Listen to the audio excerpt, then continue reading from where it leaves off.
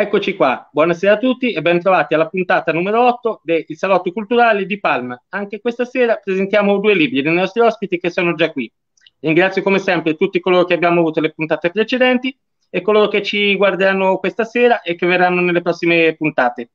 Chiunque ci sta guardando, se ha delle domande da fare ai nostri ospiti, scrivetele pure, che tra una domanda e l'altra le rivolgiamo a loro. Però prima di dare la parola a Lidia, che gli auguro la buonasera, buonasera Lidia. Buonasera. Andrea. Apro come sempre una piccola parentesi per ricordare agli ospiti che sono qui questa sera, già da tempo hanno ricevuto la locandina e la liberatoria. Senza la liberatoria non si può andare da nessuna parte perché io purtroppo ho avuto alcuni problemi con alcune persone. Quindi per evitare imprevisti di questo genere vi consiglio sempre di mandare la liberatoria qualche giorno prima. Tutto questo perché queste persone, come dicevo, mi hanno detto che io prendo soldi, cosa che non è vero perché io faccio le dirette gratuitamente e chi viene qui lo può anche confermare e soprattutto non ho mai parlato male di nessuno e soprattutto altre cose pure che hanno rifuso proprio tutte false notizie sulle, su me e sulle mie amiche. Detto questo, chiudo subito la parentesi, non mi dilungo più e passo la parola a Lidia per presentarci i nostri ospiti e partire con la prima domanda. Prego, a te Lidia. Allora, do il benvenuto ad Angela Casalanguida, quindi tu hai un, un cognome molto bello che evoca qualcosa di positivo, di amorevole e poi Marco Fedele, quindi buonasera a tutte e due. Buonasera Angela anche a te. Buonasera a voi. Angela ha scritto il libro Un uragano di capelli rossi, che è già questo titolo. Mi piace. E Marco Fedele ha scritto Lo Stadio, che io sono onoratissima di aver editato. Grazie. Allora, intanto, eh, se volete far vedere la copertina del libro, dei vostri libri. molto bene. Belle copertine, molto molto. Molto, molto colorate, molto veramente vivaci come colori, mi piacciono molto. Allora, scusate, sono, sono, sono, sullo smartphone e non riesco bene a inquadrare me stesso. Non ti preoccupare. Fermo così benissimo. che ci sei. Marco, ti vedi bene, bene. Grazie. di nulla. Allora, Angela, Marco, Mm, diteci qualcosa di voi, chi siete? Marco, inizia fate nella vita. Ok, vai. Ok, inizio io, mi chiamo Marco Fedele, sono laureato in chimica, ho più di 50 primavere sulle spalle, non vi dico l'età esatta perché non ho piacere, però ho, conservo la voglia di scrivere di leggere da quando ero adolescente. È una passione che ho sempre avuto e anche se mi sono laureato in chimica e oggi lavoro presso un'azienda che produce solventi e di cui io faccio le analisi, continuo nella lettura e continuo nella scrittura. Il libro Lo Stadio è uno dei libri che ho pubblicato fino a, fino a oggi e che eh, riguarda un po' il mio, la mia, anche un po' la mia vita, il mio passato, perché parla comunque della vita di periferia della vita di provincia. Pur essendo nato e vivo tuttora a Milano, molti anni li ho passati in, in provincia, una città che si chiama Corsico. E di conseguenza quello che ho imparato di Corsico, la vita di periferia, la gente diversa che c'è rispetto al, al centro di Milano, ma l'ho portata anche nei miei libri. Infatti nel libro, pur essendo un thriller, è ambientato appunto in uno stadio e molto spazio viene dato ai tifosi, alle loro manie, alle loro ambizioni, ai loro piccoli dilemmi e drammi quotidiani che sembrano essere offuscati nella vita dello stadio. Poi comunque parleremo meglio certo. di, questo, di, questo, libro. Certo.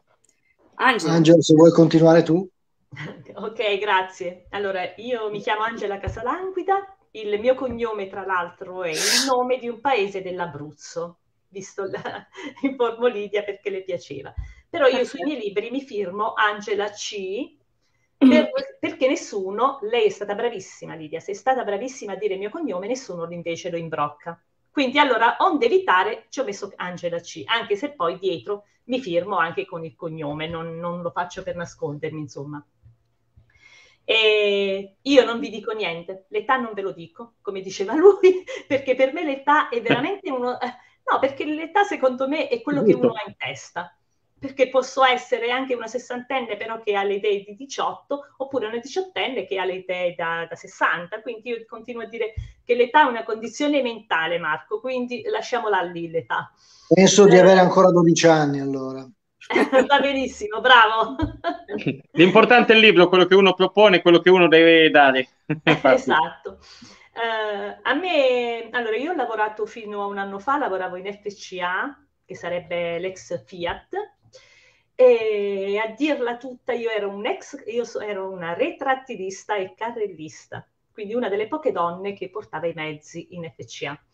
Eh, un anno fa me ne sono andata um, per una scelta mia personale, mi sono licenziata, adesso faccio semplicemente, diciamo quasi la casalinga, o forse neanche, perché mi piace scrivere, quindi scrivo, eh, vado, mh, faccio le cose che mi piacciono.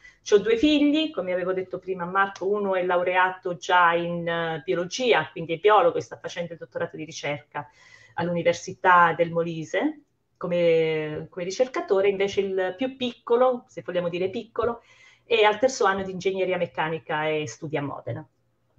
Io ho sempre amato scrivere, non ho mai avuto il coraggio di pubblicarli i miei scritti, anzi poi li distruggevo pure tra l'altro. poi invece... No! sì!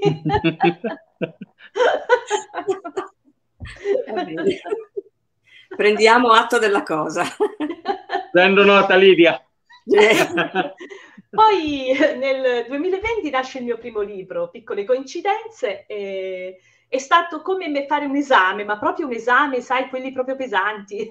e, però dall'esame evidentemente sono riuscita promossa perché poi da quello eh, ne, ne è seguito La dolcezza del sale e adesso il terzo, Un uragano dei capelli rossi e a fine mese, entro fine mese, uscirà anche il mio quarto libro che verrà presentato alla Fiera del Libro di, eh, alla Fiera dell'Editoria di Roma, verrà portato. Mentre La dolcezza del sale è stato due volte alla Fiera del Libro di Torino e L'uragano dei capelli rossi no, perché, lo, perché io alterno, faccio un libro in CERT e un libro con le case editrici. Ok. Perfetto. Allora, resto su Angela per chiedere eh, qual è stata la scintilla che ti ha fatto capire di amare la scrittura e quindi di metterla in pratica? Allora, io non, non ho la scintilla, io forse quello che dico sempre, allora, um, io non vivo la, vivo la mia vita reale e poi vivo nella mia fantasia, perché ho in testa sempre tante storie, quindi io le vivo proprio, le vivo completamente. E alla fine ho deciso di mettere queste storie, di, di scriverle. Infatti io molte persone dicono hai il blocco dello scrittore, poi quanto scrivi ti fermi a pensare. Io, io, non mi fermo a pensare. Cioè se io ho una tastiera davanti, l'unica cosa che mi dà un po' fastidio è che le mie mani sono meno veloci della mia mente, anche se scrivo con tutte e dieci le dita. Però io vado lì e, e poi è ancora più bello perché a me le storie io inizio in, in un modo e non so come seguono, perché dico che i miei personaggi vivono e quindi da soli si scrivono eh, fanno, fanno delle cose, anche se io a volte penso, certe volte quando vado a letto, quando vado in giro, penso il seguito, come proseguire. Poi invece no, quando accendo il PC sembra veramente che i miei personaggi hanno vita e quindi si scrivono da soli. E io, io faccio quello che vedo che loro, le loro azioni, quello che fanno. Bene. Marco. Beh, io... Io ho questa passione della scrittura da quando avevo 14 anni. Più che altro era un desiderio di mettere su carta qualcosa che provavo, qualcosa che avvertivo, qualcosa che desideravo comunicare agli altri. Nasceva anche da un, da un fatto che i libri che leggevo, i film che guardavo, avevano tutti un finale diverso rispetto a quello che mi aspettavo.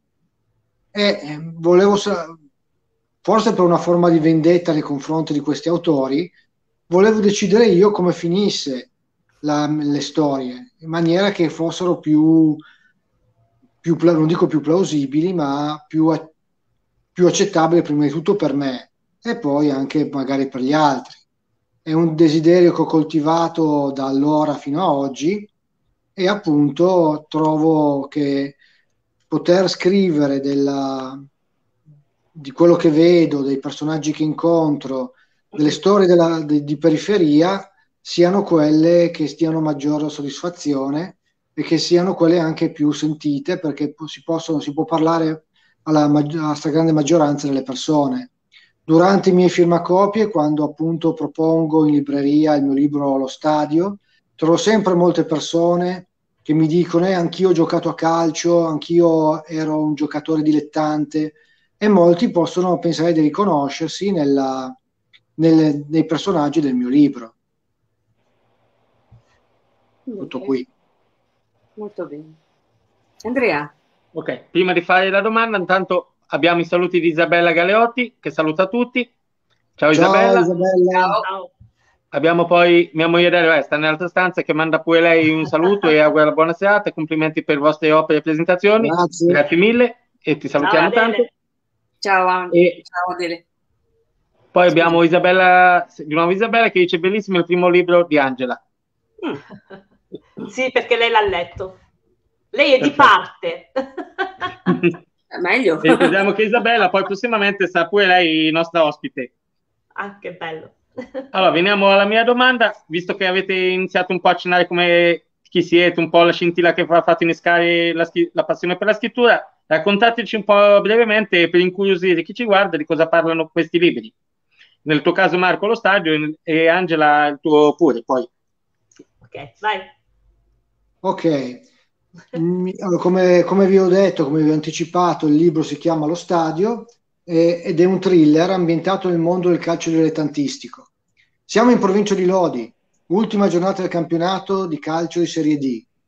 La locale squadra sta per scendere in campo, gli spalti sono gremiti, c'è un'eccitazione grandissima in città, perché se la squadra vincerà la partita sarà promossa per la prima volta nella sua storia in Serie C2 abbandonerà il grigiore del dilettantismo per la luce della ribalta del professionismo e per tutta la città ci sarà un guadagno.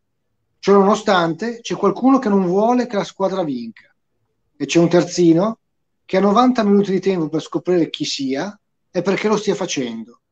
Una corsa contro il tempo prima che l'arbitro fischi la fine dell'incontro e la fine di ogni speranza. Come dicevo, un thriller, però è un thriller senza cadaveri ed è un thriller senza poliziotti. È un thriller che vuole non solo raccontare una storia adrenalinica, ma vuole anche raccontare la vita di provincia. Vuole far vedere come persone di estrazione sociale diverse, di cultura diversa, di provenienza diversa, sono col, ciascuno con le proprie magagne quotidiane, con le proprie ambizioni, con le proprie invidie, si ritrova tutta quanta unita attorno a un campo di calcio nella speranza di contare qualcosa o nella speranza di poter fare gruppo, di dimenticarsi le proprie difficoltà quotidiane. Infatti nel libro molto spazio viene dato sia alla tifoseria sia ai giocatori, i quali appunto ciascuno attraverso il pallone dimostrano di avere delle ambizioni, dimostrano di avere del, dei sentimenti che sono diversi da quelli che si prova nella vita reale. Per fare questo libro infatti mi sono dovuto, anzi sono dovuto, sono andato nei vari stadi della provincia di Milano, in Lombardia, sono stato a Pizzighettone, sono stato a Vigevano, sono stato a Sant'Angelo Lodigiano.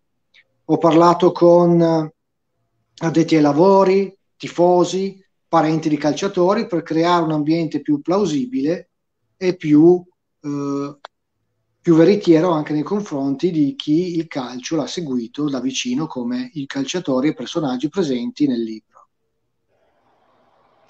Confido sempre, che, confido sempre che il libro, lo stadio, il giorno d'oggi, soprattutto in periferia, abbia un significato molto diverso rispetto a quello che si può vedere nelle grandi città.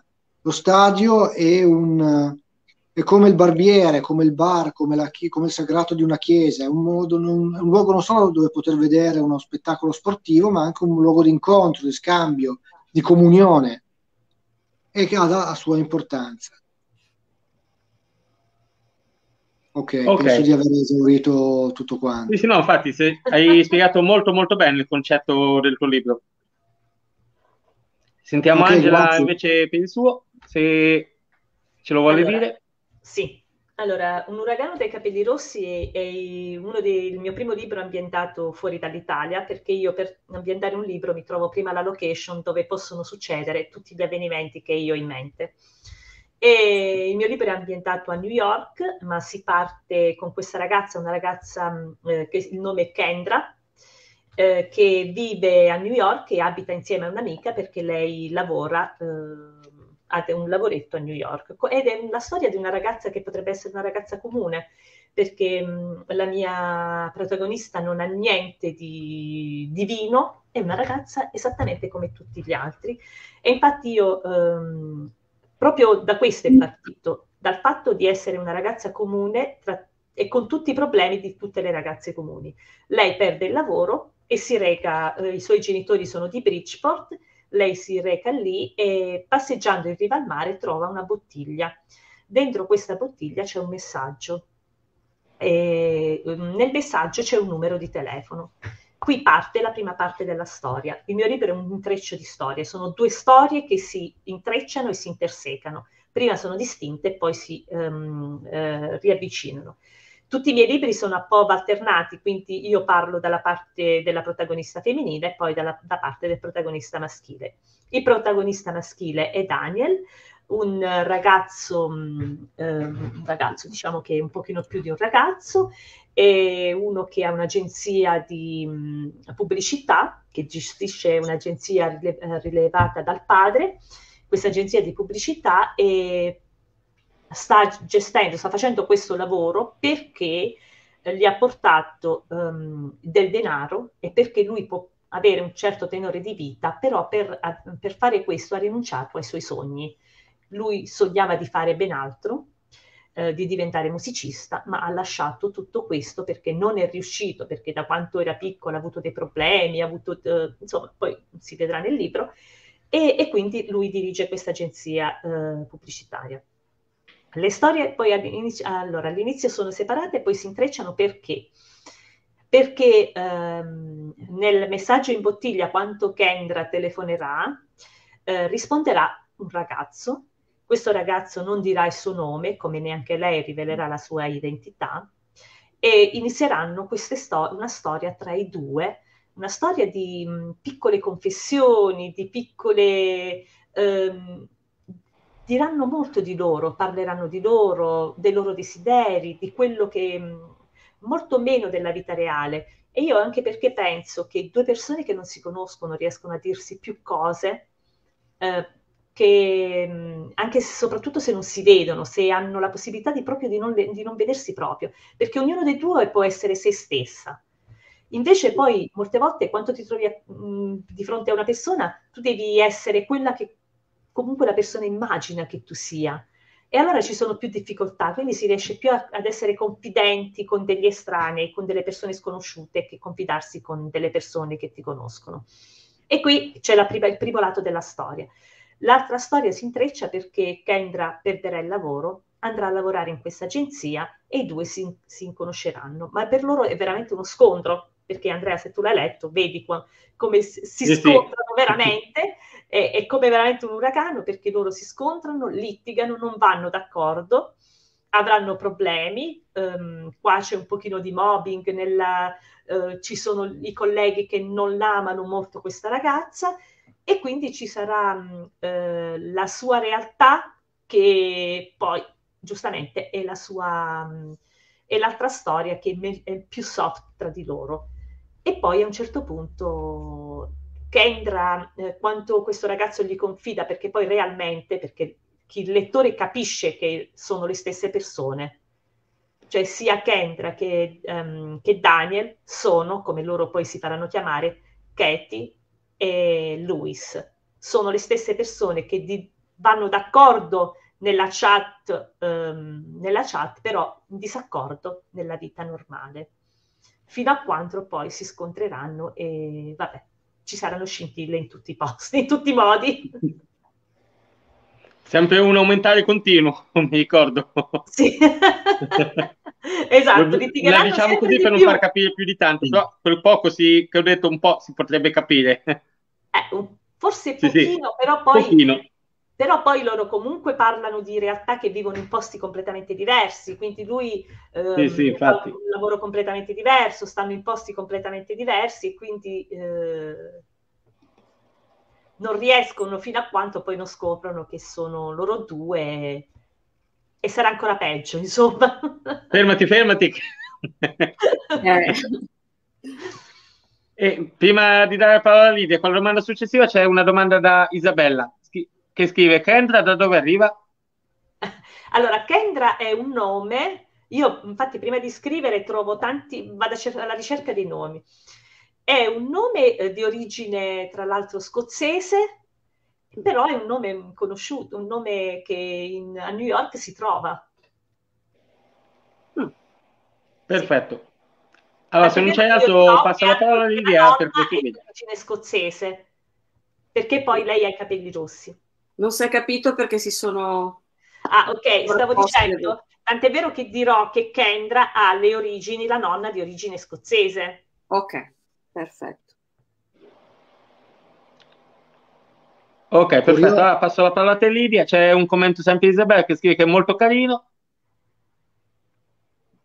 Grazie. Eh, a te Lidia. Dell'autore e dell'autrice. Allora, in quale così mh, mm, punto della giornata eh, vi va di scrivere o riuscite a scrivere e la cosa importante che mi viene sempre da chiedere, fate dei foglietti, scrivete dietro gli scontrini del supermercato, cose del genere, insomma, ecco. Marco? Io scrivo in qualunque momento della giornata mi capiti, anche se sono al lavoro, ma questo era inutile dirlo, forse sarebbe stato meglio non dirlo, non si può mai dire. Io sono avvezzo a scrivere le frasi che mi vengono in mente su, uno, su qualunque foglio di carta mi capiti a tiro. E prima di procedere a copiare il libro, il, il libro sul, sul computer, scrivo, lo scrivo tutto su dei fogli di carta. Sono più veloce, ho la possibilità di correggere più velocemente le frasi e poi quando trascrivo il, i pensieri, gli appunti dal, foglio al computer cambio il 90% delle parole. Ah. Pertan- pertanto la, quella che si vede sul computer è la, praticamente la seco- è già la seconda o la terza stesura. Poi ovviamente ne faccio anche altre dopo aver copiato sul computer. Però non, non c'è un momento particolare in cui io non scriva, non mi vengono in mente de- delle belle frasi che magari eh, poi potrò usare, se non per un certo libro, anche per altri. Infatti con, ho sul computer una, un file a parte in cui ci sono delle frasi, dei paragoni che potrebbero essere usati, che, che mi tengo a portata di mano qualora ne avessi bisogno, a seconda delle necessità. Poi ovviamente quando le uso scrivo tra parentesi usato già in, in dove certo. di, per evitare di, di doverlo ripetere. Molto bello, molto molto bello. Angela. Io no, io non scrivo da nessuna parte prima, non mi, non mi scrivo le frasi. Um, in genere la mattina mi dedico più a casa a fare servizi, spesa, tutto quanto, ge- e poi scrivo nel pomeriggio, oppure anche la sera. A volte il primo libro che lavoravo l'ho scritto di notte. scusate. E il primo libro ho fatto come Marco. Lo scrissi prima tutto sul, su un quaderno, poi lo, l'intenzione era di copiarlo. Bene, è uscita una storia completamente diversa. allora, allora, da allora scrivo direttamente sul PC. E, e, poi ripeto, non posso scrivere le frasi perché anche se le penso, molte volte tipo vado a fare la spesa, ecco vedi, io non vivo, mica vado a vedere la spesa, quello, io so quello che devo comprare, però mentre faccio la spesa penso, quindi penso alle mie storie, penso ai miei personaggi che stanno facendo qualcosa, cioè come se li vedessi e a volte penso quello che voglio scrivere, poi però quando, come ho detto prima, quando apro il PC vado per scrivere e loro fanno un'altra cosa e quindi alla fine mi, mi sono arresa e scrivo quello che mi viene in quel momento. Molto bene. Andrea. Prima, come sempre, prima di farvi la domanda, abbiamo proprio una domanda da Isabella che scrive una domanda per entrambi. Usate dei beta oppure alfa? Eh, non so cosa siano né i beta né gli alfa. cosa sono? Ammetto la mia ignoranza anch'io. Forse intendeva dei lettori che mh, eh, leggono il romanzo prima che... I beta reader, sì, sono i ah. lettori, potenziali lettori prima, chi lo legge prima, prima che sì. viene affidato ah. a una casa editrice, qualcosa, un giudizio primario. Allora, Penso dovrebbe essere quando... questo. Allora, io prima, allora c'è io una mia amica che scrivo, come inizio a scrivere un romanzo, lo passo a lei, anche dieci pagine alla volta. E forse lei è eh, ed è bello perché lei mi continua a chiedere come arriva a un certo punto mi fa muoviti che voglio sapere come continua.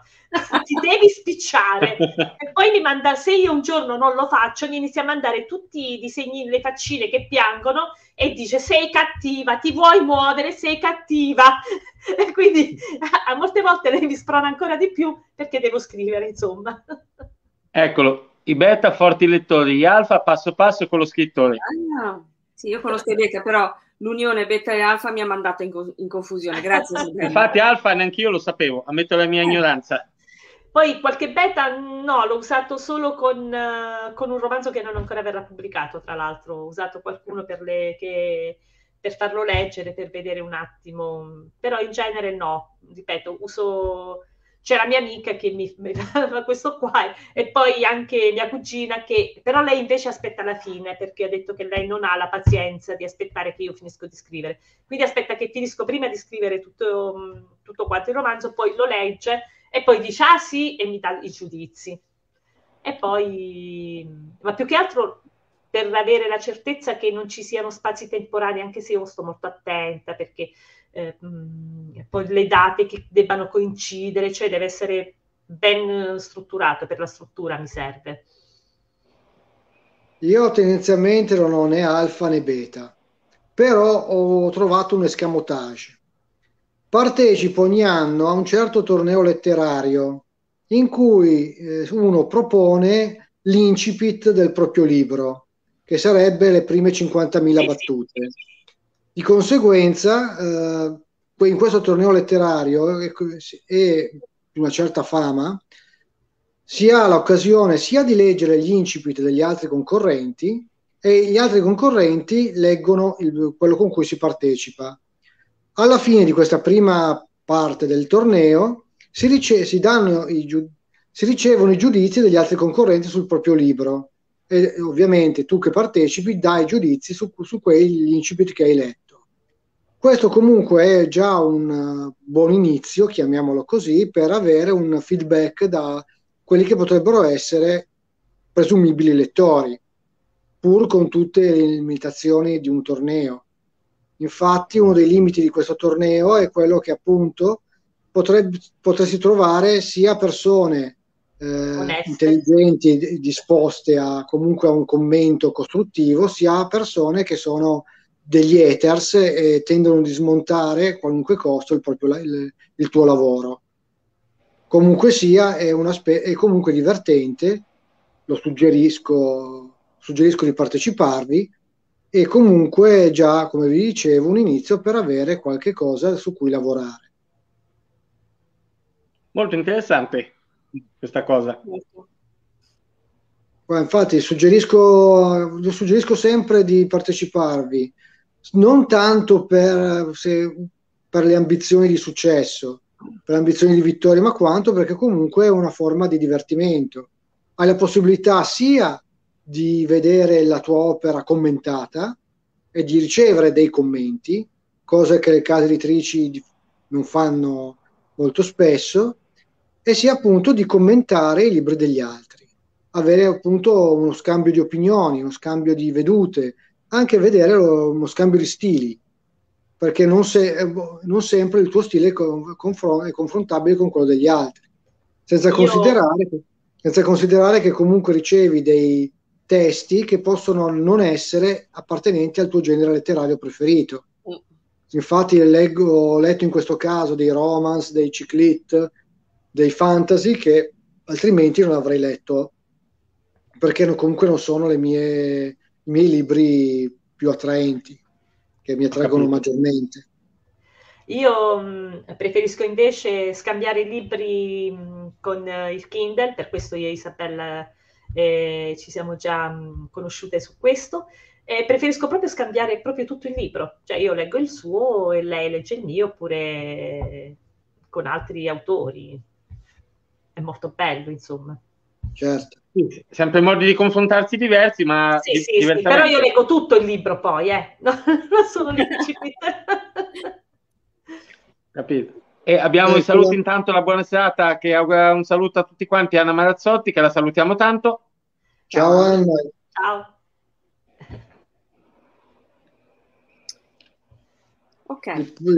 detto fra di noi, il problema del, di questo torneo a cui partecipo è che comunque ti capita di vedere, di leggere delle cose difficili da digerire, in quanto chi si propone non sempre ha le basi culturali da, adatte per una pubblicazione o comunque per, una, per un torneo di questo genere. Senza considerare che molto spesso questo torneo viene utilizzato come sfogo per, per le paturnie del, del, singolo scrittore. Purtroppo una volta mi sono imbattuto, per dirne una, nel, in un tizio che aveva inserito delle bestemmie nel suo, nel suo testo, motivo per cui ho segnalato la cosa alla, alla, all'organizzazione e questo penso che sia stato bannato. Infatti tra le, tra le condizioni che si pone all'inizio del torneo è quello di non usare un linguaggio scurrile. blasfemo, scurrile, razzista e così via, pena appunto l'esclusione dal torneo. Capito. Ma io una volta l'ho letto un libro addirittura che c'era qualche bestemmia, addirittura ai tempi di prima dell'anno zero, prima di Cristo, eh? Non so chi è che, come hanno fatto a pubblicare un libro del genere, era scandaloso. Ma guarda, io ho letto purtroppo dei libri in cui ci sono anche pubblicati da eh, case editrici molto, molto note e con, da parte di autori altrettanto noti che però contenevano delle, delle bestemmie. Motivo per so cui... che se uno storico, se uno ci mette una bestemmia in mezzo, però non, non pronuncio quali, però addirittura prima di Cristo, sinceramente, come fa a sapere una roba eccessiva. eh. come, fa, come facevano a metterci nel Medioevo, insomma, dai. E c'è scritto addirittura che i romani bevevano la cioccolata calda, che neanche esisteva ai tempi dei romani la cioccolata. Infatti. E come dicevo io, nel Medioevo con l'orologio. Eh sì. e anche, anche Umberto Eco ha sbagliato nel suo nome della rosa, mi aveva messo dei che i commensali, i fraticelli mangiavano i peperoni quando i peperoni non erano ancora stati importati dall'America. Dall'America. Esatto. Infatti è un errore che per uno come Umberto Eco l'ho trovato particolarmente strano, visto che ha curato ogni parola del suo libro. E io l'ho sì, infatti. E devi fare te la domanda Lidia, allora lo fai io, ho perso un attimo il filo. Sì. Abbiamo un attimo divagato. Eh, figurati. Uh, allora, possiamo fare entrambe le cose, che vi fate una domanda a vicenda e poi leggete qualcosa dei rispettivi libri. Ok. Il tempo c'è. Quindi. Ok. Um, volevo chiedere a Marco, no? lui è, è un chimico, e il genere eh, poi si spazia eh, nel thriller, non è molto legato al suo ambiente, diciamo, non come film, perché un, possiamo dire che comunque un chimico è, è più una persona, come dire, eh, che no, non va su questi racconti così, insomma, no? non, eh, non combacia con, suo, con i suoi studi. Beh, eh, sicuramente non combacia con i miei studi, però oh, non potevo pensare di essere una persona completa senza poter esprimere anche il mio carattere adrenalinico che appunto si manifesta nei miei libri, che sono appunto thriller o fantatriller. Comunque molti autori vedo che hanno, hanno un percorso di studi diverso da quello che poi hanno riscontrato nel, nei loro libri. Anche Marco Malvaldi, che è l'autore dei delitti del barlume, anzi dei libri da cui è stata ricavata la serie dei delitti, delitti del barlume, è laureato in chimica. Ci sono molti altri scienziati sono... che diventano poi esatto, poliziotti. Ma... esatto, ma poi ci sono visto anche ad esempio Sandrone Dazzieri che è l'autore dei racconti del gorilla e non, non, ha, un, non ha, seguito una, la via della letteratura se, nei suoi studi perché comunque ha un diploma, mi sembra, di, dell'istituto alberghiero. Pertanto ci sono molte, molte persone che eh, comunque pur avendo un bagaglio culturale non inerente al, al suo titolo, al, inerente alla possibilità di scrivere un libro, comunque si cimentano in queste avventure per, per passione, per necessità, per voglia di comunicare, per tanti motivi e ci riescono anche bene. Io invece volevo chiedere se, ad Angela, se possibile, sì. quando è che ha cominciato a, veramente ad appassionarsi alla letteratura?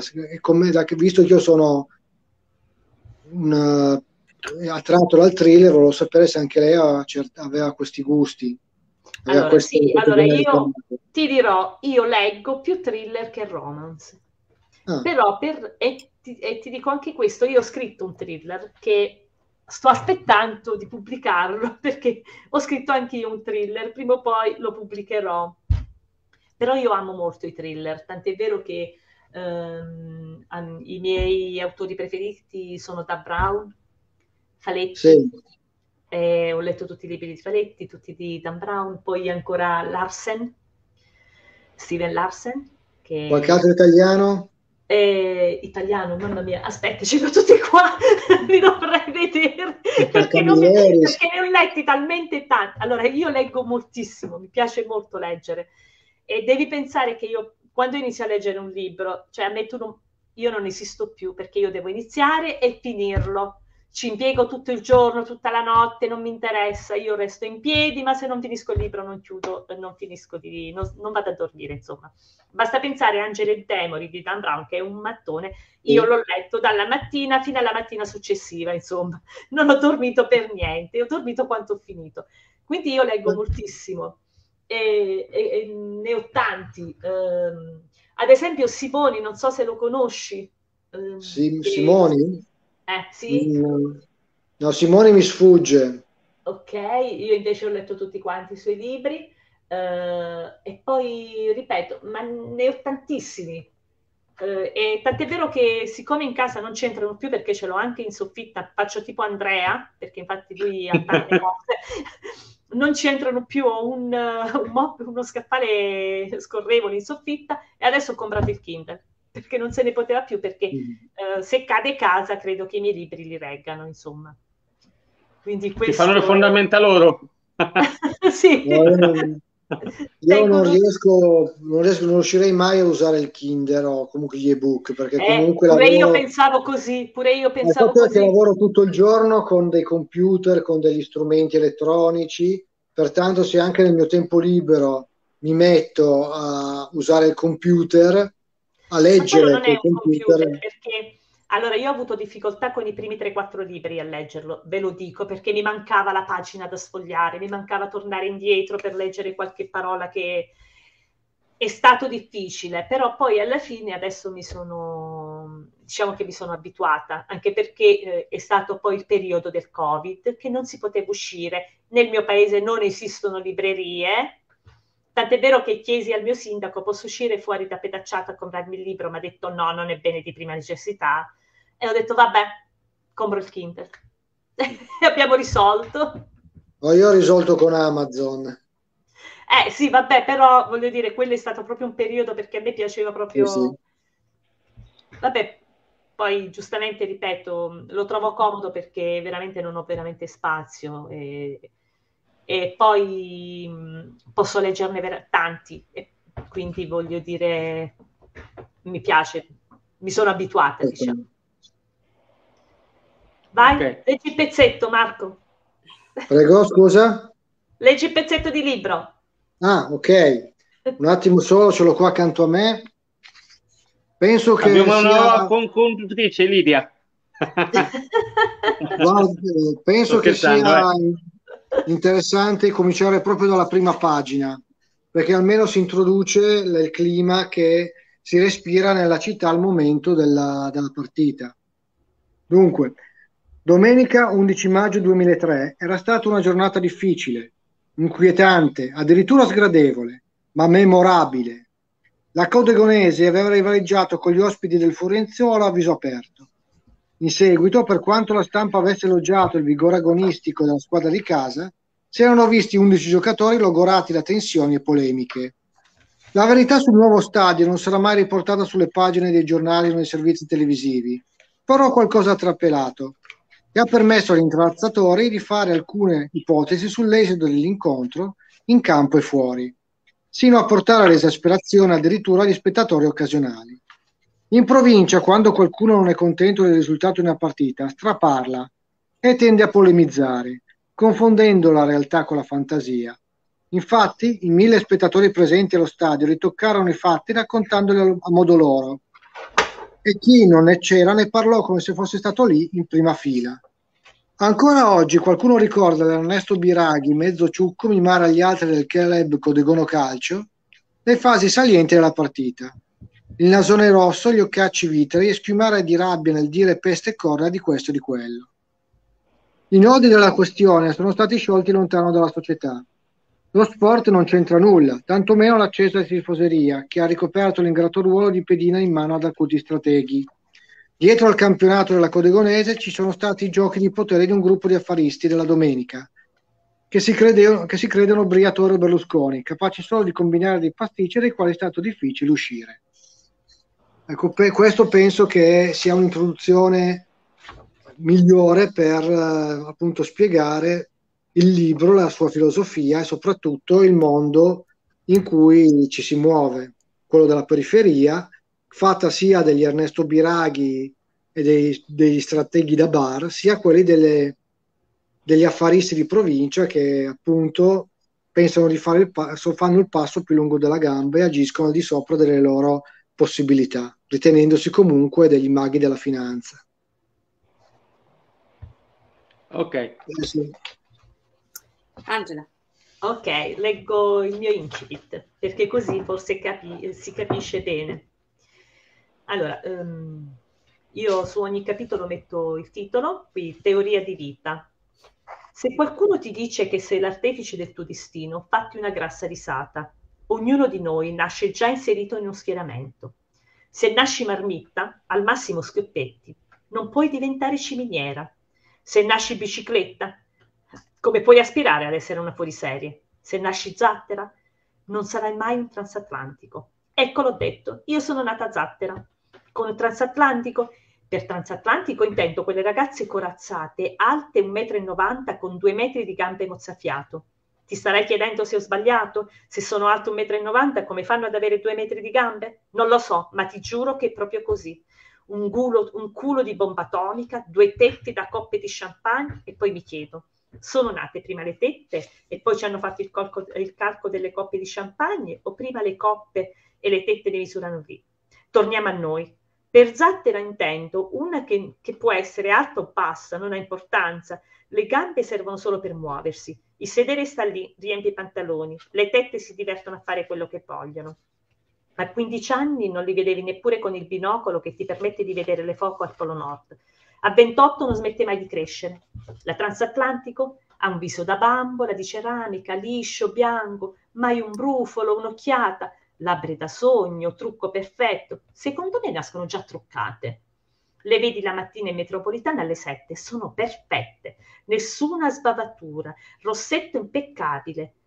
E a che ora si svegliano, mi chiedo? Il viso? Ogni volta che mi guardo allo specchio scopro un piccolo brufolo come una talpa che cerca di farsi strada in un orto. Dormo con il volto a pois di pomata disinfettante. Alla mattina mi sveglio alle tre prima della metro. Precedo gli operai della nettezza urbana. Fondotinta, fardo, ombretto, eyeliner, uh, trucco perfetto. Danza da finale di Super Bowl. Passiamo all'altro occhio. Eyeliner, la linea storta, salvietta struccante ricomincio. Guardo l'orologio, mi devo sbrigare. Ho tolto anche l'ombretto, lo rimetto, è troppo tardi. Mascara e rossette e scappo. Ho una scatola con 10.000 rossetti, neppure un truccatore del cinema una simile collezione. Lo metto, il tempo di vestirmi è già sbavato. L'aggiusto, l'aggiusto, un po' di fart per fermarlo, ma nella speranza che è sempre presentabile. Vogliamo parlare dei capelli della transatlantico? Saranno veri o parrucche? Piega impeccabile, colore luminoso, si muovono con eleganza, come se fluttuassero nell'aria. Il vento non li scompiglia, al massimo gioca con loro con una danza sensuale. I miei, tre piastre, due fon, creme, balsami, schiume, lacca, cera, un'ora a tirare, lisciare e piastrare, già il colore da arrendersi. Quante persone incontri a New York con i capelli rossi? Io sono una di quelli. I miei nonni erano di origine gallese e tra i nipoti io sono l'unica con i capelli rossi. Dopo un'ora di messa in piega possiamo definirli gradevoli. Questo è per far capire, um, ma io credo che questo è nato proprio dal, um, da una mattina del mio lavoro. Io quando andavo in Fiat iniziavo il turno alle 6 di mattina e molte volte io arrivavo che manco ci vedevo. Cioè, certi mi dicevano buongiorno, oppure salivo in pullman perché per arrivare in Fiat io dovevo salire in pullman. E io quando salivo in pullman non vedevo neanche chi ci fosse a fianco a me a sedile, mi mettevo lì e dormivo già, fino a quanto arrivavo al lavoro.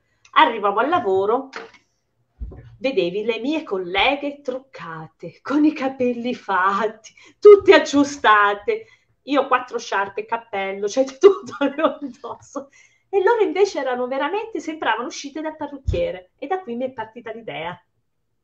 Capito, molto originale. Ma no, avevano dormito lì e quindi erano già... E io a volte dicevo... Erano già pronti sul posto di lavoro. No, io dicevo, togliete la testa la notte, fatemi capire, ma come fate a truccarvi alle 4 di mattina che io manco l'occhio mi, me lo vedo? In realtà aveva una maschera sopra che copriva l'intero volto e la tolgono quando, quando, escono se la tolgono. Ah, ok. Però una maschera di cera sicuramente o di plastica da indossarsi all'occorrenza, già con tutto il kit di trucco messo sopra. E da qui è partito l'incipit e poi la storia è andata avanti. Okay. Andrea, Ok, io allora, visto che tra poco siamo quasi in chiusura, che già un'ora è quasi volata alla grande, volevo chiedervi tre motivi per leggere il vostro libro. Cominci tu stavolta, Angela? Ok, allora, tre motivi. Il primo perché vi farà divertire, divertire, divertire. E poi alla fine piangerete anche un po'. Manca il terzo. Ah, il terzo? È perché non ne trovate uno uguale. Vabbè. I, miei, i miei tre motivi sono, primo, perché comunque è una storia adrenalinica, una lotta contro il tempo, come dicevo prima. Pertanto se vi piacciono i, i gialli o i thriller che sono appunto corrono sul filo del rasoio, questo libro fa per voi. In secondo luogo, perché comunque si, mi lusingo di aver aperto mo- le porte su un mondo che molto spesso non è conosciuto, come quello appunto del calcio dilettantistico. In terzo luogo, perché eh, non si parla di capitani e di re, ma si parla appunto della vita di provincia e pertanto ciascuno può riconoscere se stesso ognuno dei tifosi ognuno dei calciatori ognuno di quelle 5, 5.000 persone che gravitano attorno a un campo di calcio. Ok, perfetto. Motivi molto molto validi e molto interessanti, entrambi. Lidia, a te. Prego. Allora, dove si possono trovare i vostri libri e dove le persone possono trovare voi? Vai Marco, tu o io? Ok, io sarò reperibile domenica, non dopodomani, domenica 20 presso la libreria Re della Feltrinelli di Viale Sabotino a Milano, dove terrò un firmacopia appunto del libro Lo Stadio. Comunque il libro, il libro è reperibile appunto attraverso qualunque libreria Itali- d'Italia, è ordinabile, o comunque attraverso il sito della casa editrice Le Mezzelane, che appunto provvede alla, a fornire il, chi ne fa richiesta attraverso appunto la, il, il, sito. Poi per gli altri firmacopie se ne parlerà l'anno prossimo non a, non sub, non a breve. Allora, okay. il mio libro lo potete trovare qua, lo potete trovare su Amazon, come tutti gli altri, tutti gli altri libri che ho scritto. E, ehm, eh, inoltre, per contattare me basta trovare Angela Casalanguida su Instagram oppure Angela C. Autore su Facebook a me fa piacere se le persone mi contattano, è la cosa più bella che ci sia, secondo me, eh, lo scambio di idee, lo scambio di, per confrontarci con gli altri. Certo. E io sarò, sono stata presente già alle fine, la, mm, sarò presente i primi di dicembre a Roma, dove porterò il mio nuovo libro e qua lo dirò per la prima volta, vi anticipo il titolo. Il titolo è Il coraggio, il coraggio di Brianna ed è un libro ambientato in Irlanda ed è un libro molto molto bello perché eh, c'è una cosa che voglio dire. Allora, nonostante i miei libri siano divertenti, perché io sono molto ironica, nei miei libri c'è sempre una donna, una donna che eh, lotta e una donna forte.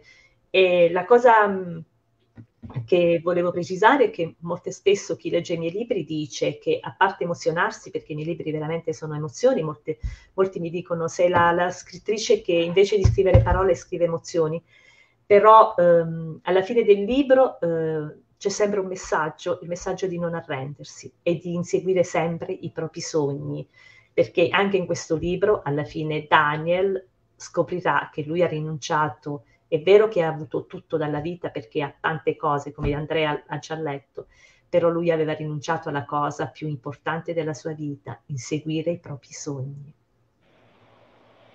Infatti mi ha lasciato un po' con la mano questo passaggio quando ci sono arrivato.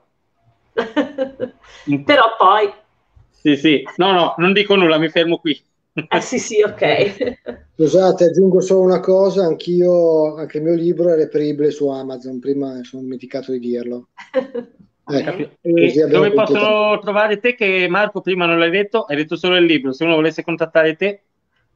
Eh, attraverso sempre Facebook, perché appunto sia la pagina riguardante il libro, oppure eh, attraverso appunto il mio account di Facebook come Marco Fedele.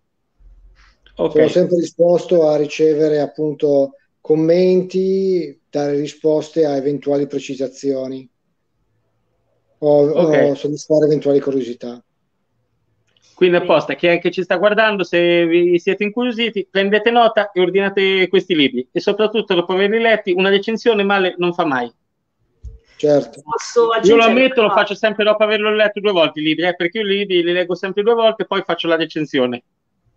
Ho sempre l'abitudine di leggere, non consecutivi, eh, in mezzo ne metto altri, poi lo riprendo in mano più avanti. Eh, posso aggiungere una sola cosa. Allora, io oltre a scrivere libri, eh, ho scritto anche per altre, mh, mm, per altre mh, mm, diciamo, altri racconti. E un racconto di questi è appena uscito con la Pave Edizioni, eh, ed in, abbiamo fatto un libro eh, per, um, sopra, visto che stiamo nel mese di novembre, diciamo che siamo quasi arrivati alla giornata per, uh, contro la violenza sulle donne, è appena uscito un libro dove c'è un mio racconto che parlo delle ragazze della, sulla, um, un racconto diciamo che sul tema delle ragazze, della, delle donne iraniane. E, è un tema, io anche l'anno scorso con le storiche edizioni ho pubblicato anche un altro racconto sulla violenza sulle donne. E quindi mi interesso molto di questi problemi e sono, vorrei spezzare una lancia contro queste qua. E forse nei miei libri questo che io continuo a dire. Um, non cerchiamo di crearci alibi, siamo tutte donne, siamo comunque persone come gli altri e dobbiamo comunque pretendere il rispetto da tutti. Una... Giusto. Giusto. Un'ottima... Infatti l'altra volta quando mi hai mandato questo libro, cioè, posso dire che l'ho letto e mo- mi dicevi di leggerlo, l'ho letto e è stato molto bello. Grazie. Quello di cui mi hai mandato tutto l'altra volta. Andrea. Allora, visto che abbiamo parlato di queste cose qui, avete detto dove si trovano, cosa bolle in pentola? Ci avete qualche progetto o progetti futuri? Al momento no, sono, sono, in una fase di, di, stallo, nel senso che ho da poco, all'inizio del mese, ho finito di scrivere un libro che vedrò, deciderò in futuro a chi e quando presentare. Adesso ho soltanto alcune idee nella testa, ma non c'è niente di concreto. Okay. Prima di, prima di appropinquarmi a svolgere un nuovo libro, vorrei avere la trama ben delineata stavolta, perché di solito mi fermo a metà che non so più come andare avanti e allora perdo molto tempo nel cercare di trovare una soluzione alle mie elucubrazioni, che molto spesso mi si ritorgono contro. Ho capito. Angela? E come appena detto, ti avevo anticipato. Sì, sì, a parte questo libro o altri di tuo? Sì, sì, eh, altro è che spero, perché io ho già pronto un altro libro da pubblicare per l'estate prossima, però l'altro penso di pubblicarlo con Amazon, te l'ho detto alterno, un giorno una, uno sì. con la PAD e uno qui. E inoltre io sono stata quest'anno, quest'anno in vacanza alle Canarie e ho scritto un altro racconto che sto finendo ambientato proprio alle Canarie. Ok. Lidia, hai qualcos'altro da chiedere? Visto che tanto siamo in anticipo. Eh, vabbè, Anche chi ci sta guardando uguale, se avete qualcosa da dire scrivete sì. pure, se volete. Soprattutto, così io taccio. Per me è molto, è molto facile parlare del libro di Marco, che mi è piaciuto molto. L'ho proprio spulciato, scusate il termine, ma è così. L'editor questo fa e, e dà una mano dove serve fra le tante altre cose. Di Angela mi piace questa, questa come posso dire, maggioranza di, di, di femmine, di, di donne. Sì. E, sì, ci sono i fidanzati, ci sono gli amici, però mi pare di capire che nei tuoi libri eh, la donna eh, sia sempre presente con le sue storie, i suoi drammi, eh, non lo so, appunto la piega che non tiene, queste cose qua, però sappiamo che le donne sono molto di più di un make-up di una piega che non tiene, eccetera, eccetera. E questa è una cosa che mi piace perché, beh, si, si capisce perché mi piace, perché molto spesso le donne non sono le protagoniste della narrativa, soprattutto, eh, che ne so, dei gialli, eh, dei, dei thriller, Marco mi uccide.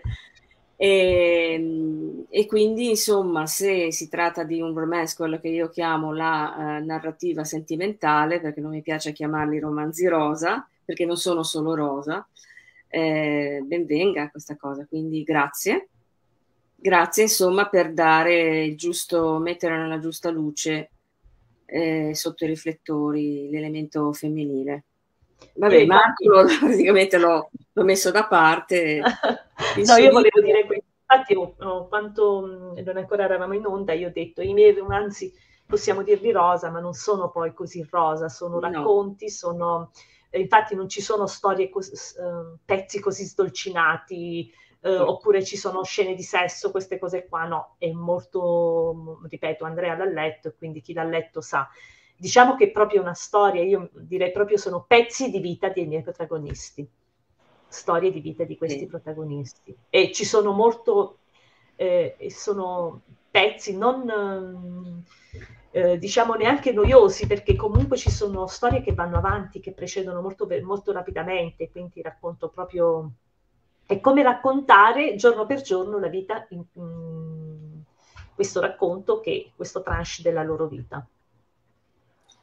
Bene, Marco, beh, tu lo sai, eh, io non, non, ho solo editato il tuo libro, l'ho proprio, me lo sono gustato perché, come dicevi tu prima, hai mh, analizzato in un modo veramente profondo la vita di, di periferia o comunque la vita di provincia e mi hai illuminata su, sul mondo delle, uh, delle squadre possiamo dire di serie D, anche se la serie sì, dilettanti. dilettanti, eccetera. Poi c'è anche il piglio giornalistico che mi interessa moltissimo per tanti motivi, e la, l'approfondimento dei personaggi. Vismara, che chi vorrà leggere questo libro potrà conoscere, è davvero un personaggio molto particolare, con tante magagne e, e tanti, certo. dire, tic che lo rendono interessante anche se posso dirlo sgradevole a volte. Sì, sì certo. Vismara quindi... è proprio il... Non dico che sia il vero villain del, del racconto, però è quello che vuole fare il passo più lungo della gamba, è quello che cerca di una, un suo riscatto personale e che viene messo con le spalle al muro nonostante tutto il suo impegno e tutta la sua devozione. Questo può capitare a chiunque in qualunque ambiente, soprattutto nel mondo del lavoro. Sì. Quante persone sono, hanno dato, non dico la vita, ma hanno, hanno dimostrato il loro attaccamento all'azienda e si trovano licenziate dall'oggi al domani, per dirne una. Questo succede anche a lui come direttore sportivo di, della squadra che sto pensando che, che, eh, che, di cui ho trattato, anche se la squadra non esiste. Pertanto eh, è, è, un personaggio che comunque è emblematico all'interno della sua vicenda, all'interno della vicenda. Sì, si può dire che sia il perno attorno sì, al quale gira. Si può, si può dire, si può dire. Su un allora, perno suo, malgra- suo malgrado. Sì, va bene. Basta, mi fermo perché sennò qui ne parliamo altro che un'ora. ok. Grazie, grazie a voi. Ok, allora io vi ringrazio per essere stati con noi, speriamo che vi siete divertiti. Prego, a voi, figuratevi. Se volete Grazie. tornare nuovi ospiti nella prossima edizione, fatemi sapere che vi prendo nota perché già abbiamo diverse serate, lo dico già, prenotate. Quindi tra un po', non so se continuano così a segnarsi, dovremmo chiudere le iscrizioni già ancora prima di finire questa edizione. perché si sono segnati veramente in tanti, eh, guarda, per la prossima edizione. Adesso non si sa quando si inizierà, poi dopo c'è ancora molto, molto tempo, vi faremo sapere. Tanto ancora non c'è problema di sapere quando farlo. E detto okay. ciò, sì, ringrazio tutti coloro che ci hanno seguito, ringrazio te Lidia per essere stata Grazie. qui con me questa sera e ringrazio di nuovo Marco e Angela e anche a coloro che ci hanno seguito, chi ci ha scritto, chi ci ha fatto domande e ci rivediamo mercoledì invece che saremo come ospiti, avremo Maria Teresa Del Donato e Giuseppe Storti. E con questo è veramente tutto. Buona serata a tutti e buonanotte. Buonasera. Ciao ciao. Buonasera. Ciao. Ciao. ciao.